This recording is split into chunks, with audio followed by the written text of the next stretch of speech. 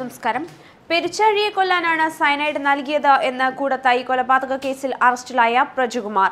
കോടതിയിൽ ഹാജരാകുന്നതിനു വേണ്ടി കൊണ്ടുപോകുന്നതിനിടെയാണ് മാധ്യമങ്ങളോട് പ്രജുകുമാർ ഇങ്ങനെ പ്രതികരിച്ചിരിക്കുന്നത്. പെരിച്ചാഴിയെ കൊല്ലാനാണെന്ന് പറഞ്ഞ മാത്യുവാണ് തന്റെ കയ്യിൽ നിന്ന് സയനൈഡ് വാങ്ങിപ്പോയതെന്നാണ് പ്രജുകുമാറിന്റെ പ്രതികരണം. പ്രജുകുമാർ പറയുന്നതിലെ പൊരുത്തക്കേടുകൾ അന്വേഷണ സംഘം നേരത്തെ കണ്ടെത്തിയിരുന്നു. ഒട്ടേറെ പേർക്ക് ഇയാൾ സയനൈഡ് നൽകിയിരുന്നതായി അന്വേഷണ സംഘം കണ്ടെത്തിയിരുന്നു. മാത്യുവുമായി ദീർഘനാളായി ബന്ധമില്ലായിരുന്നുവെന്ന് പറഞ്ഞ പ്രജുകുമാർ കേസിൽ അറസ്റ്റിലാകുന്നതിന് മുൻപ് ഒരു മണിക്കൂറോളം മാത്യുവുമായി സംസാരിച്ചിരുന്നുവെന്ന് അന്വേഷണ സംഘം കണ്ടെത്തിയിരുന്നു.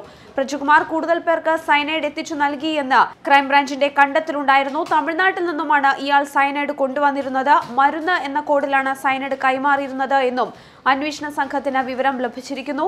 സയനൈഡ് ഇടപാടുകൾക്കായി കോഴിക്കോട് രഹസ്യ കേന്ദ്രമുണ്ടെന്നും അന്വേഷണത്തിൽ കണ്ടെത്തിയതായുള്ള വിവരമാണ് ഇപ്പോൾ ലഭിക്കുന്നത്.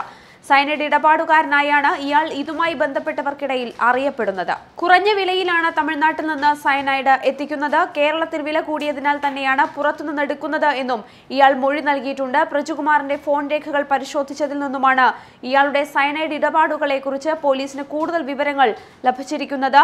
ജോളിയുടെ ഗൂഢാലോചനയെ പറ്റി അറിയില്ല എന്നും മറിച്ച് പെരിച്ചാഴിയെ കൊല്ലുന്നതിനു വേണ്ടിയാണ് സൈനൈഡ് മാത്യുവിന് നൽകിയത് എന്നുമാണ് പ്രജുകുമാർ ഇപ്പോൾ മാധ്യമങ്ങളോട് പ്രതികരിച്ചിരിക്കുന്നത്. കൂടത്തായി കൂട്ടക്കൊലക്കേസിലെ പ്രതി ജോളിയെയും സഹപ്രതികളെയും കോടതിയിലേക്ക് കൊണ്ടുപോയിരിക്കുകയാണ്. മാധ്യമങ്ങളോട് പ്രതികരിക്കാതെയാണ് ജോളി ജയിലിൽ നിന്നും കോടതിയിലേക്ക് പോയിരിക്കുന്നത്. കോഴിക്കോട് ജില്ലാ ജയിലിലാണ് ജോളിയും പ്രജുകുമാറിനെയും താമസിപ്പിച്ചത്. താമരശ്ശേരി കോടതിയിലാണ് പ്രതികളെ ഹാജരാക്കുന്നത്.